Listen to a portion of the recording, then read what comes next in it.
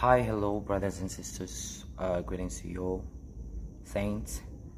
Um, it's such an honor for me to share this message that God had been giving, had given me uh, a while back. I believe it was in April. And um, this is the video that I'm making because right now I am just uh, converting uh, the messages that I have been sharing on Facebook uh, into a video format because this is what uh, the Lord had been telling me so that it would reach uh, more people that God wants to liberate, to uphold, to encourage, and as well to enlighten because many people are in darkness. The Word of God says that my people perish for the lack of knowledge. So when people do not have knowledge and don't know the truth, they they do perish. So this is why God is revealing things like this. And not only to me, but to many, many people. God has been revealing many, many things. And I'm just here to share it. Um, so this message is not for self-glorification or um, pleasure or you know this is not a show off or anything like that. I just strictly am doing this because this messages the lord gave me have to be shared to all people and that is my intention. So uh, i would love to i wish to read this for you because i believe that if i read it it is more detailed than if i i talk it out so the the experience goes out like this. The heading is LaShun Pace is in heaven. Uh, I felt hesitant to share this. Still, the Lord emphasized that I should share this message. I do not want to look like I'm showing off or something. Don't get me wrong. The Lord gave clear instructions that I should uh, share this revelation. In fact, he said that this should be the next message that I should share. This was like the time that I I was told to share this on Facebook. There's this wonderful testimony of a woman of God who recently died. This woman is an American gospel singer, LaShun Pace. She was a wonderful servant of God and a gospel singer who served God with passion. But one thing in her life did not please the Lord. She was still attached to worldly adornment. I'm talking about makeup, artificial hair, jewelry, uh, trousers, female trousers, pants. Just like any Christian woman today, seeing that the Lord used her, she was comfortable with her life not knowing the or things she is doing in her life that do not please the Lord Jesus.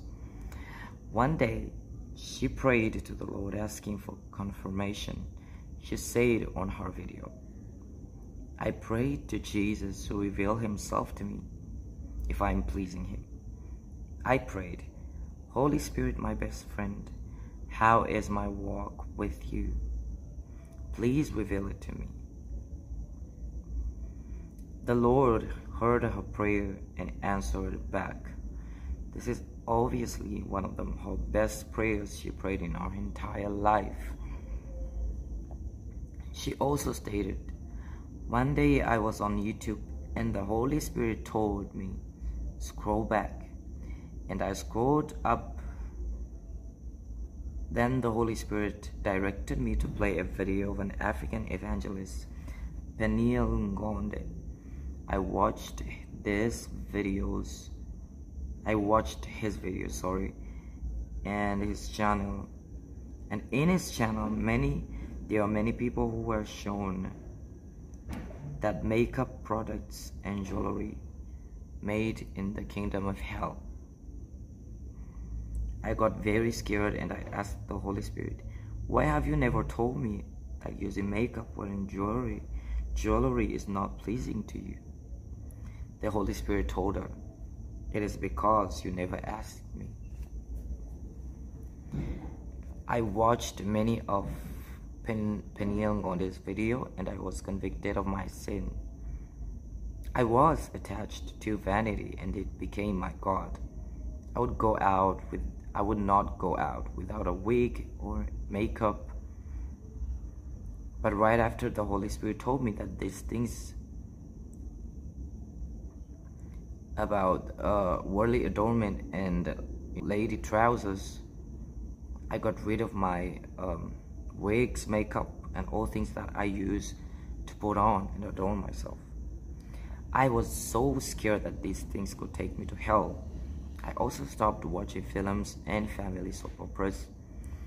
I was addicted to the TV. Now I don't have the TV anymore. I only spend time watching testimonies on Brother Penny Young on this channel. Well, she did not exactly say it like this, but this is this was what she said in her testimony video. I saw her testimony last year, and I was so happy to know that the Lord had warned her about makeup and worldly adornment.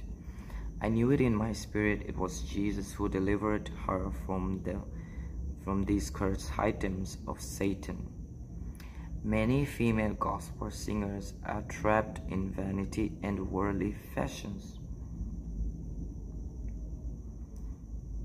I had subscribed to her channel and I listened to her message from time to time.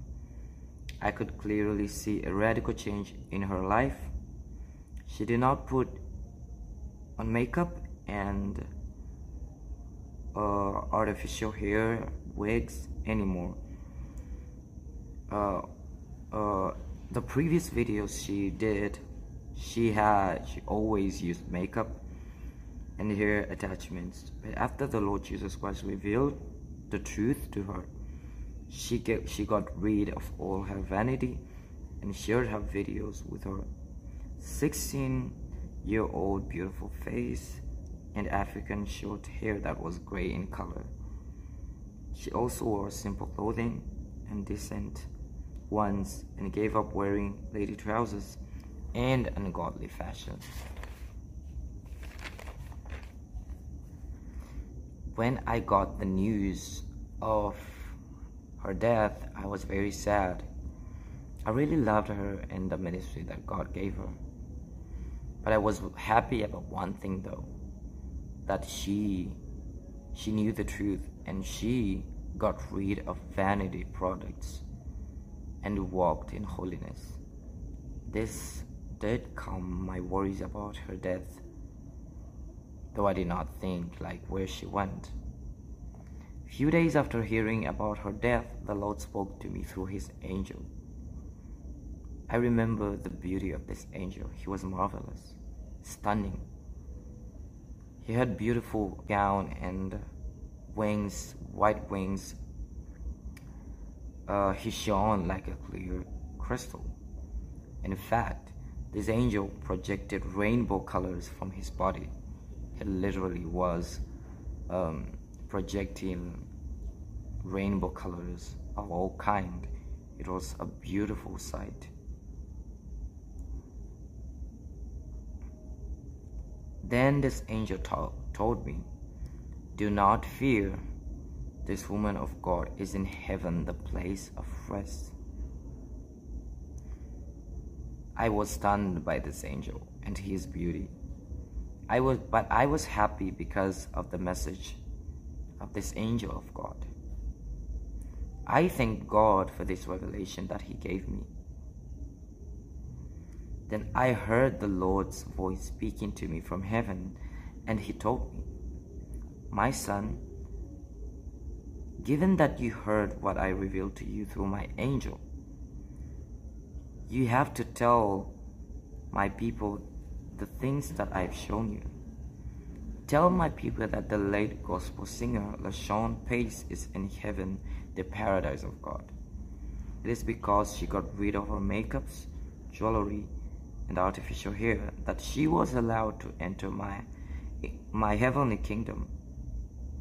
Tell my daughters if they want to enter in my kingdom, they must separate themselves from worldly adornment and vanity. Tell my daughters I do not compromise my standards of holiness.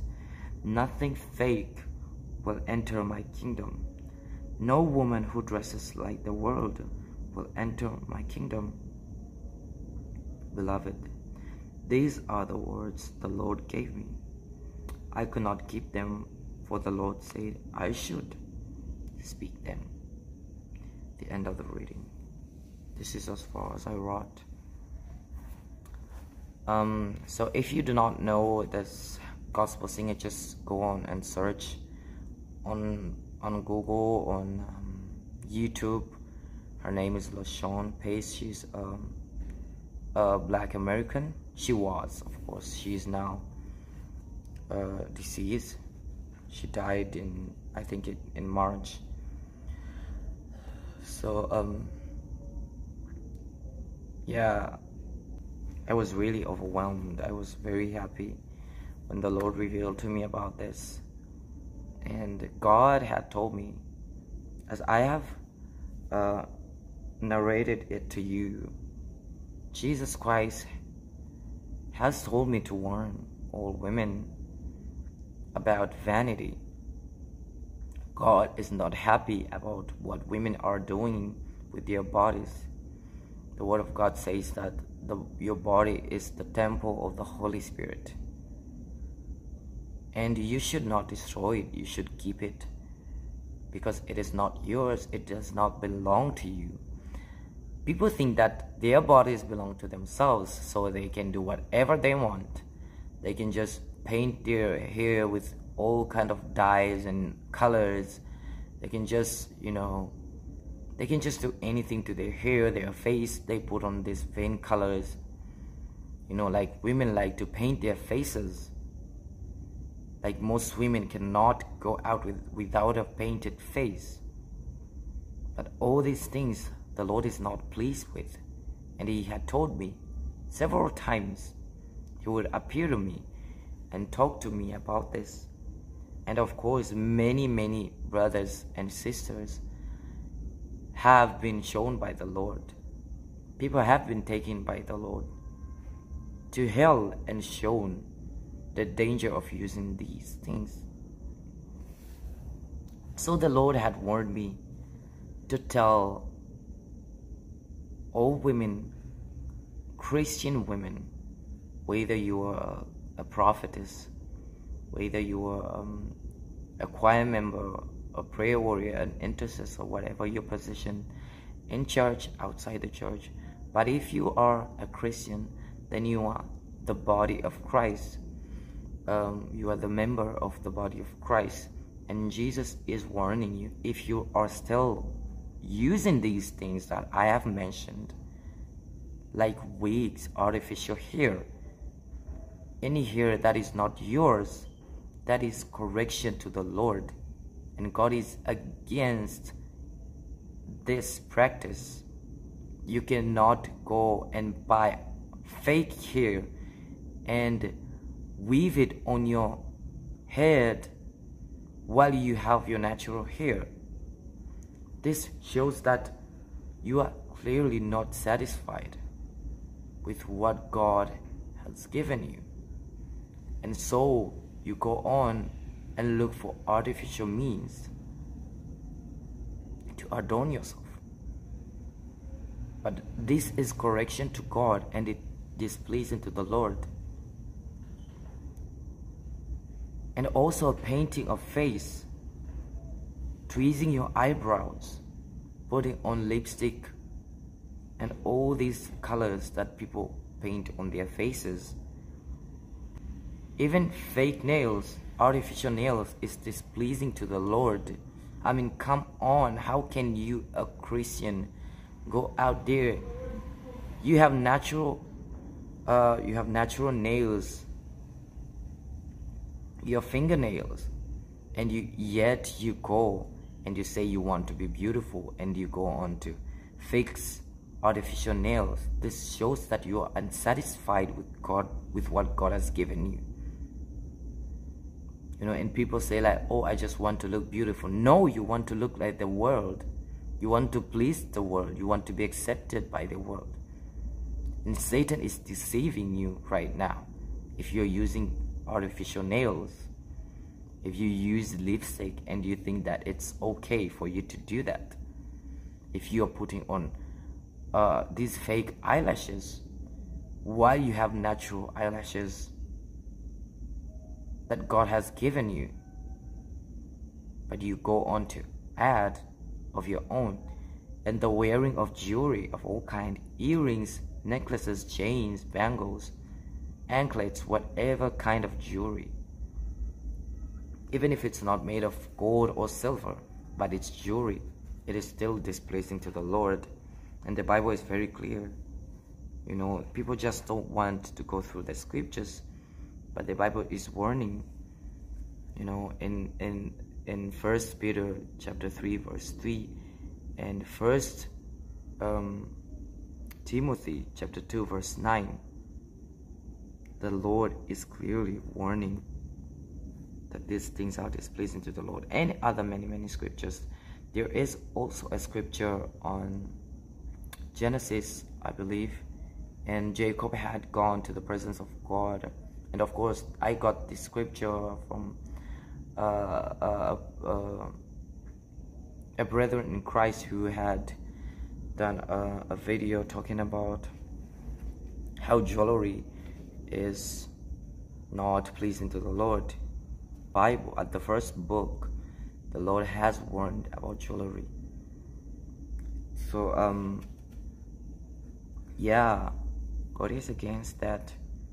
And yeah, pants, lady trousers, pants Many, many women are using these things, but Jesus says he is not pleased.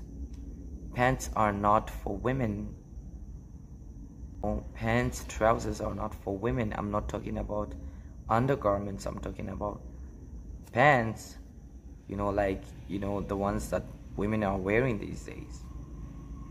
But God is against all these because they are abominations. A woman shall not wear that belongs to a man, and a man will not wear that what belongs to a woman. And they say, oh, these are just lady pants. No, that is Satan who is trying to deceive you to think that they are lady pants. Of course, he had to come up with a plan to lie to you so that you can fall for his trap because you are following the trend of the world. And the Bible is clear that do not follow the trends, the ways of the world.